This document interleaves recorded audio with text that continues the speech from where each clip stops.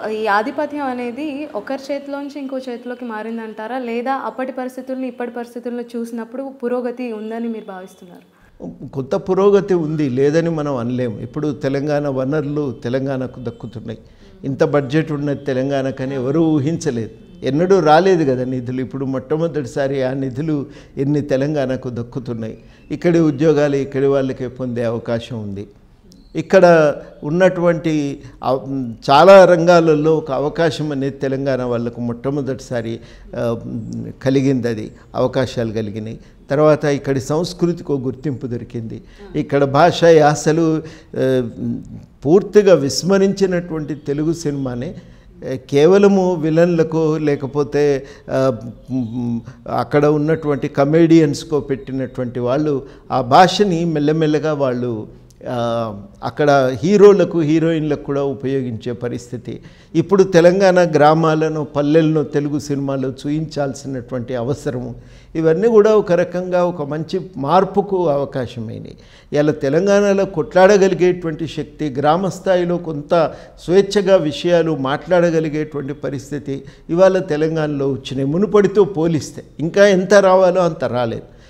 మాకు తెలుసు ఏంటంటే తెలంగాణ రాగానే వెంటనే అన్నీ మనం అనుకున్నవి అమలు కావని మాతో జయశంకర్ గారు పదే పదే చెప్పేది. ఆ సాధన కోసం మళ్ళీ పోరాటం జరగాలి.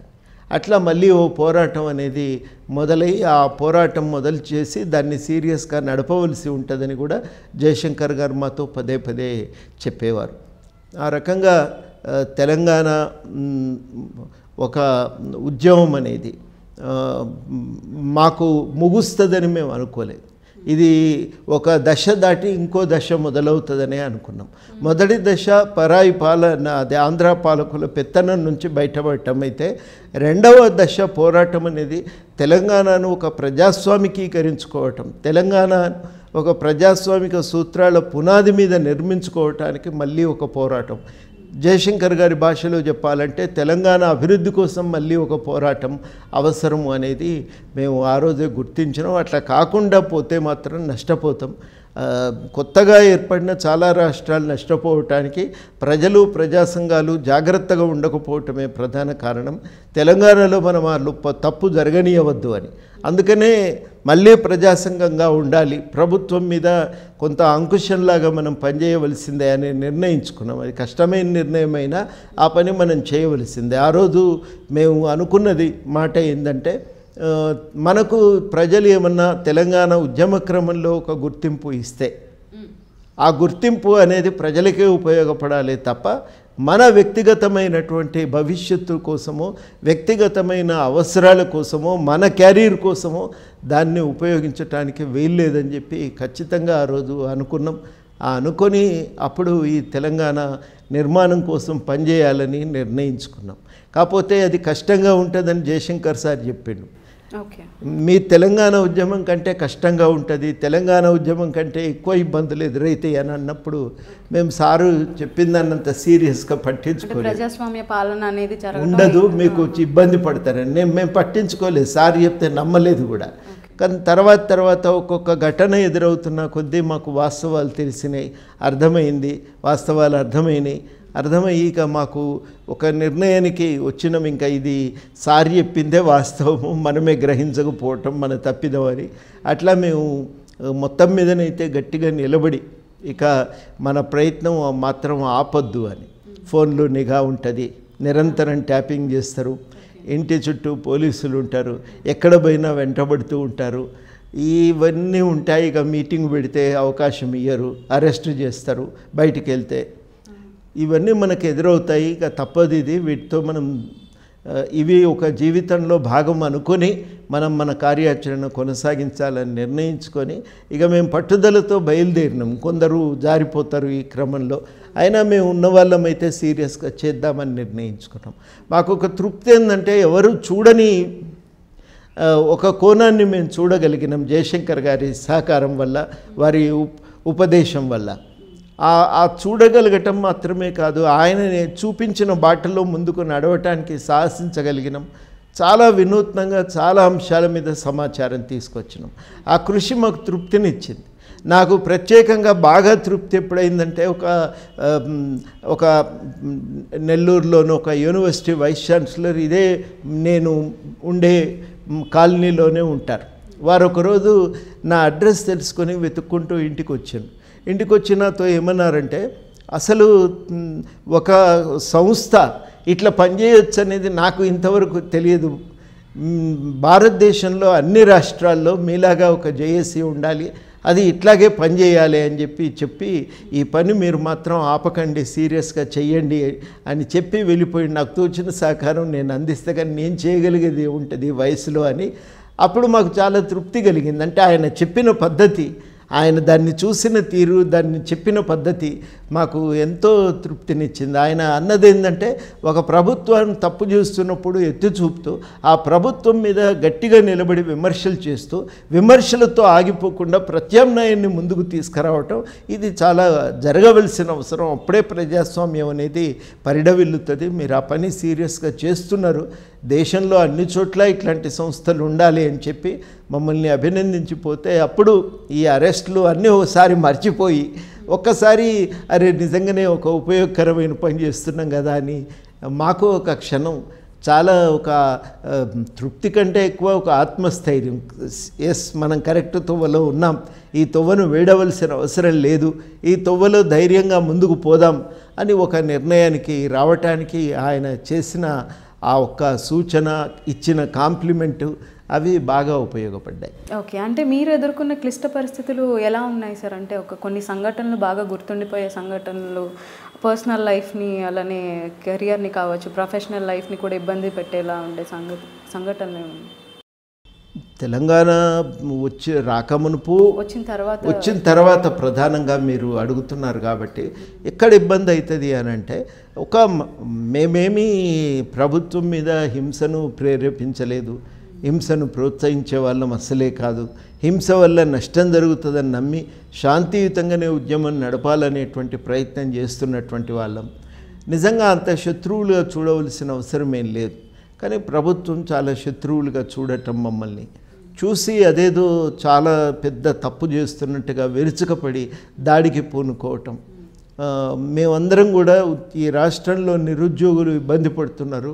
తెలంగాణ రాకముందు ఆత్మహత్యలు చూస్తున్నాం వచ్చిన తర్వాత ఉద్యోగాల కోసం మళ్ళీ ఆత్మహత్యలు చూడవలసిన పరిస్థితి వస్తున్నది. ఇది రాకూడదంటే మీరు ఉద్యోగాల కల్పన చేయాలని దానికి ప్రతిపాదన మేము తయారు చేసి పెట్టినాం. ఉట్టిగా కేవలం ఉద్యోగాలు ఇవ్వండి అని వదిలిపెట్టలేదు దానికి ఒక ప్రణాళికను కూడా మేము ప్రభుత్వం ముందు పెట్టినాం. మేము దానికోసం ఒక ఊరేగింపు తీద్దామని నిర్ణయించుకున్నాం. నిర్ణయించుకుంటే ఆ రోజు రాత్రి మా ఇంటి మీద పడి తలుపులు పగలగొట్టాను. రెండున్నర మూడు మూడు గంటల మూడు మూడు మూడు బావనుకుంటా ఆ సమయంలో వచ్చి వాళ్ళు ఇంటి చుట్టూ పోలీసులు. అంటే పోలీసులు అంటే ఒక నాలుగు ఐదు వ్యాన్లలో వచ్చాను. ఒక వజ్ర వాహనాన్ని తీసుకొచ్చిండ్రు.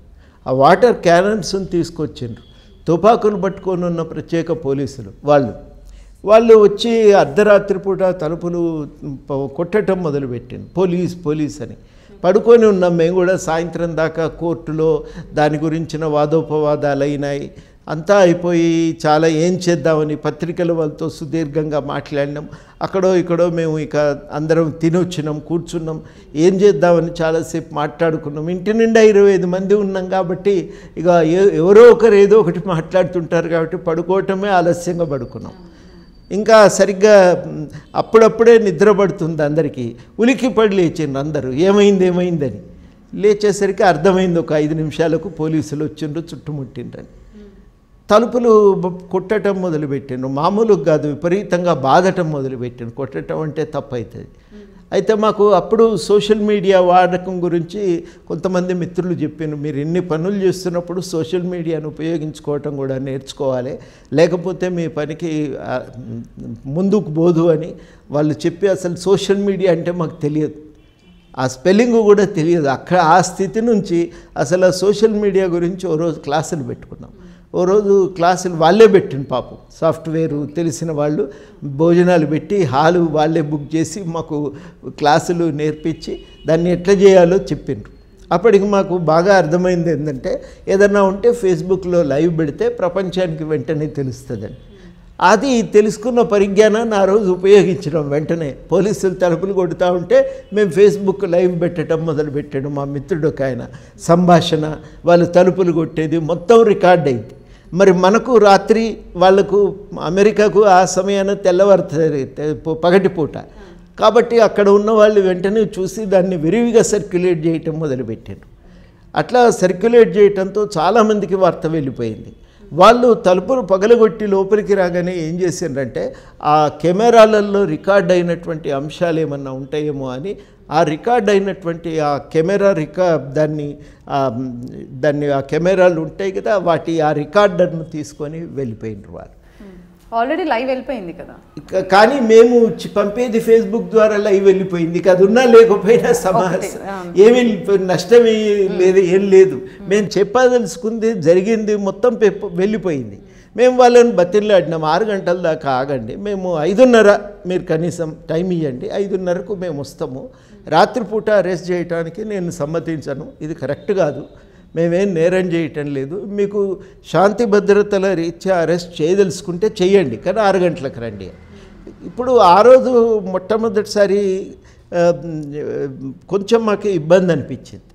ఇబ్బంది ఎందుకు అనిపించింది అంటే ఇంట్లో ఆ రోజు ఇవ్వరం లేము. మా మిస్సెస్ వాళ్ళు ఊరు వెళ్ళిండ్రు ఆ రాత్రే వస్తే ఇక ఇంటి నిండా మంది ఉన్నారు. ఇక్కడ కొంచెం నీకు ఇబ్బంది అవుతుంది అక్కడే మా రిలేటివ్స్ వాళ్ళ ఇంట్లోనే ఉండమని చెప్పినాం. వాళ్ళ తమ్ముని వాళ్ళ ఇంట్లో. ఆమె అక్కడే ఉంది. ఇంట్లో మేము ఎవరం లేము. బతిల్లాడితే ఒక వ్యక్తిని ఉంచిండ్రు ఆ వ్యక్తిని కూడా అరెస్ట్ చేసిండ్రు. ఇంట్లో కూడా ఎవరు లేరు. మొత్తం పోలీసులే. ఇక తర్వాత తెల్లారేసరికి వాళ్ళు వడ్రంగిని పిలిచి ఆ డోర్లు మరమ్మత్తు చేసిండ్రు. పలిగిపోయినాయి అన్నీ ఫిక్స్ చేసి. అప్పుడు మాకు ఈ మా మేమేం బాధపడలే అరెస్ట్ అవుతాము అని చెప్పి మాకేమీ భయం ఏం లేదు. కానీ ఏంటంటే మనము కోరి తెచ్చుకున్న రాష్ట్రంలో మన ఇంటి తలుపులే పగలగొట్టారు కదా అనేది ఆ ఒక్క క్షణం మాత్రం అది ఇబ్బంది అనిపించింది ఆ రోజు తీసుకుపోయినాక పోలీస్ స్టేషన్కి ఎవరిని రానియలే. చాలామంది కలవటానికి వచ్చి వస్తారు.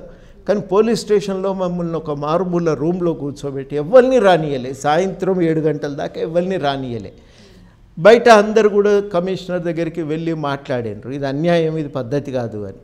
అట్లా తీవ్రమైన విమర్శలు బయట వచ్చిన తర్వాత ఇంకా సాయంత్రం పూట మమ్మల్ని ఏడు గంటలకు వదిలిపెట్టే ముందు బయటికి మిగతా వాళ్ళని కలవటానికి అవకాశం ఇచ్చారు. అది ఆ రోజు వ్యవహరించిన తీరైతే చాలా అన్యాయం అనిపించింది. బాగా గుర్తుండిపోయేటువంటి ఘటనల్లో అది నేను ప్రధానంగా చెప్పదలుచుకున్నటువంటి ఘటన.